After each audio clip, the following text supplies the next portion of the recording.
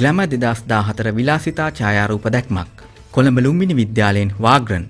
ද ග්ලැම දෙදස් දාහතර විලාසිතා ඡායාරූප දැක්ම අද දවසේ කොළඹ ජාතික කලාගාරයේදී පැවැත්වෙනවා.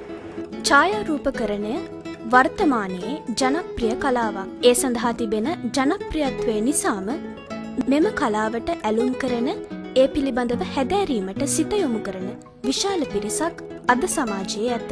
ඡායාරූප ශිල්පය සහ නිරූපණ ශිල්පය යන ශේස්ත්‍රයන් ද්විත්වයේ සංකලනයෙන් ගෙන එන විවිධ නිර්මාණයන් මෙම ශිල්පයන් තුළ ගවේෂණයේ ප්‍රතිඵලයක්. ඊසෝෆ්ට් HND ආයතනයේ සිසුන් විසින් ප්‍රථම වරට සංවිධානය කරන ලද ද ග්ලැම දෙදස් දාහතර විලාසිතා ඡායාරූප ප්‍රදර්ශනය පෙබරවාරි මස අටවන දින කොළඹ ජාතික කලාගාරයේදී පැවැත්විනි.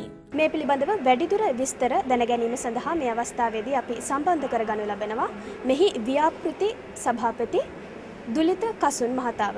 අපි මෙහිදී මේ ඉවෙන්ට් එකේ අරමුණ වුණේ මන්නාරමේ තියෙන දමිල විදුහලකට කම්පියුටර් ලැබ් එකක් සකසාදීම තමයි ඇත්තරම මේ ඉවෙන්ට් එකේ උපත වුණේ. මොකද එතෙන්දී අපිට සිද්ධ වුණා මොනවා හරි ඉවෙන්ට් එකක් කරලා ඒ චැරිටි එකට අවශ්‍ය මුදල් ටික සපයා ගන්න.